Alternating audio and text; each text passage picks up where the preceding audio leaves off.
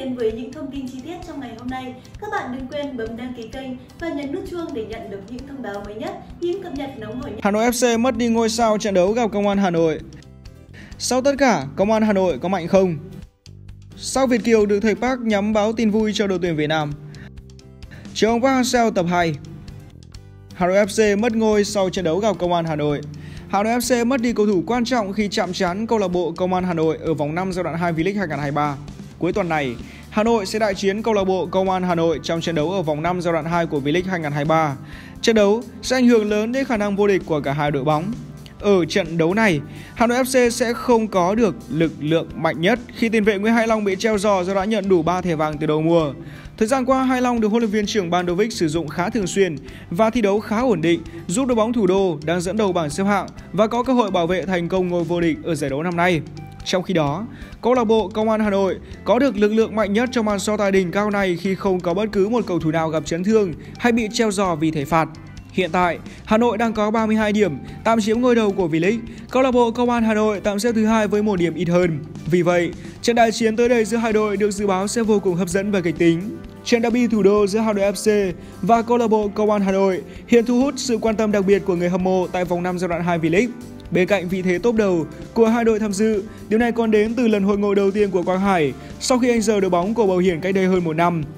Quang Hải góp công lớn vào chiến tích Hà Nội FC, trong đó có 4 lần vô địch của V-League, 2 cúp quốc gia và 3 siêu cúp quốc gia.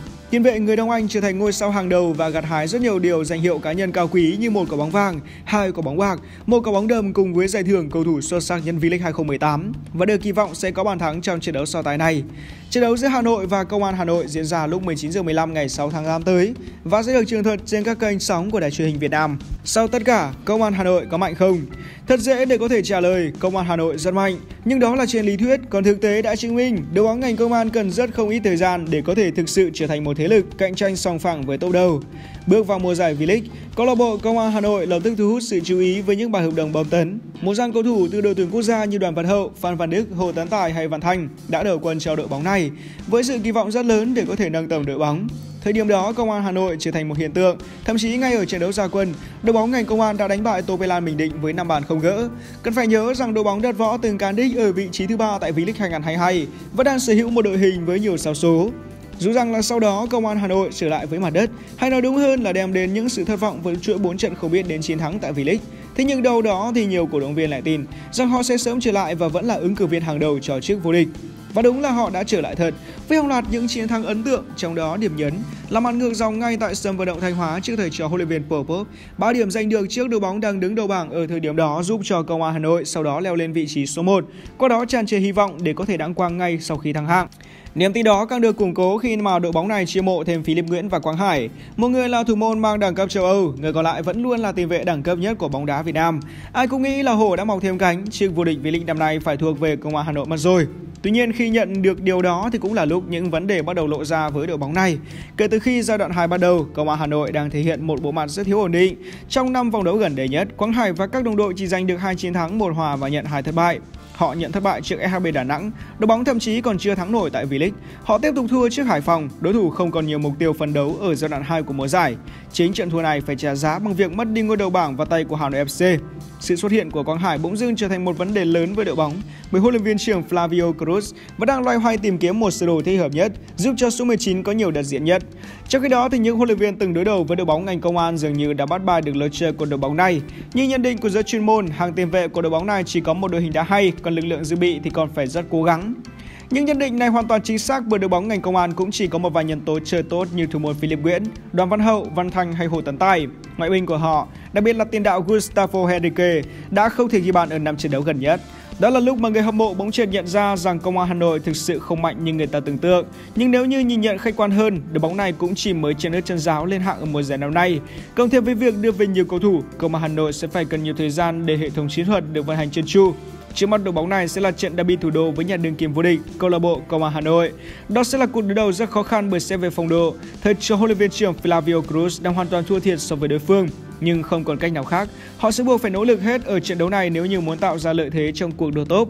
Công an Hà Nội chỉ còn 3 trận đấu nữa để khép lại mùa giải. Họ cần phải chứng tỏ rằng Công an Hà Nội có đủ lực lượng chứ không hề mạnh trên lý thuyết như rất nhiều nhận định trong thời gian gần đây. Sau Việt Kiều được thầy Park nhắm báo tin vui cho đội tuyển Việt Nam, Hậu vệ Jason Quang Vinh Pendan cho biết bản thân đang cố gắng hoàn tất các thủ tục để lấy quốc tịch Việt Nam. Trong một chia sẻ mới đây với báo chí, hậu vệ Jason Quang Vinh Pendan cho biết anh đang tích cực học tiếng Việt, đồng thời có thể hoàn tất các thủ tục để nhập tịch Việt Nam. Ngôi sao sinh năm 1997 tiết lộ là anh muốn lấy quốc tịch Việt Nam trong thời gian sớm nhất và nỗ lực để được khoác lên mình màu áo đội tuyển quốc gia. Quang Vinh sinh ra trong gia đình có mẹ là người Việt Nam và cha là người Pháp. Anh bắt đầu chơi bóng ở đội trẻ địa phương Sacles AAS trước khi gia nhập Sochaux, đội bóng được thi đấu tại Ligue 1. Cầu thủ mang hai dòng máu Việt Nam và Pháp thi đấu ở đội 1 của Socha trong 4 mùa giải, trước khi đến khoác áo câu lạc bộ New York Red Bull tại MLS năm 2020. Sau một quãng thời gian thi đấu không thành công, anh đã quay trở lại Pháp và gia nhập câu lạc bộ Quevilly Rouen ở giải hạng 2 của Pháp. Mùa giải V-League, Quang Hải đã có 32 lần ra sân cho Quevilly Rouen với tổng thời gian thi đấu là 2.487 phút. Anh hiện được Transfermarkt định giá lên đến 700.000 euro. Hậu vệ 26 tuổi cũng từng được gọi lên U16 và U18 Pháp. Trong quá khứ, Thầy Park từng đến Pháp để theo dõi Quang Vinh thi đấu và muốn đưa anh về khoác áo tuyển Việt Nam nhưng bất thành. Trong thời gian gần đây, bóng đá Việt Nam đang thoải mái hơn trong việc đưa các cầu thủ Việt kiều lên tuyển. Hiện có hai cái tên đã hoàn tất các thủ tục để nhập tịch Việt Nam là Patrick Lê Giang và Philip Nguyễn. Quay lại với trường hợp của Jason Quang Vinh, đây là cái tên chất lượng và đẳng cấp của anh đã được kiểm chứng. Nếu như hoàn thành nhập tịch, đây sẽ là sự bổ sung chất lượng chân tuyển Việt Nam trong tương lai. Chiều ông Park Hang-seo tập 2 Tập 1 là thời kỳ vinh quang của huấn luyện viên người Hàn Quốc Park Hang-seo trong 5 năm làm việc ở Việt Nam với vai trò là huấn luyện viên đội tuyển và U23 quốc gia. Thế còn tập 2 là gì? Đó là học viện bóng đá của thầy Park tại Việt Nam vừa chính thức đi vào hoạt động ở Hà Nội và trung tâm này đã thông báo tuyển học viên từ 5 đến 15 tuổi, tương ứng với các lớp học bóng đá từ U7 đến U15. Thầy Park là người điều hành học viện, còn người phụ trách chuyên môn là Shin Jong Jung, người có thời gian 12 năm kinh nghiệm dẫn dắt các đội bóng trường học ở học đường và các câu lạc bộ bóng đá trẻ chuyên nghiệp. Đội bóng gần nhất mà huấn luyện viên Shin làm việc là Seoul Elan FC, câu lạc bộ mà tiền đạo đội tuyển Việt Nam Nguyễn Văn Toàn đang thi đấu. Bên cạnh huấn luyện viên Shin còn có huấn luyện viên Kim Jong Koo cũng là huấn luyện viên nhiều kinh nghiệm ở Hàn Quốc. Với bộ khung này, học viện FRS sẽ truyền cảm hứng cũng như dẫn dắt và đào tạo các học viên nhí phát triển. Sự ra mắt của PHS Academy đã chính thức kết thúc mọi lời đồn xung quanh ông Park Hang-seo sẽ đến làm việc tại Indonesia. Cũng với sự kiện này, một lần nữa chúng ta có thể thấy rằng ông Park được gọi nói được sẽ làm được. Tại sao? Vì sau khi rời ghế huấn luyện viên trưởng tuyển quốc gia Việt Nam, ông Park từng cho biết ông muốn đào tạo bóng đá trẻ ở Việt Nam. Giấc mơ đó của ông giờ đã thành hiện thực.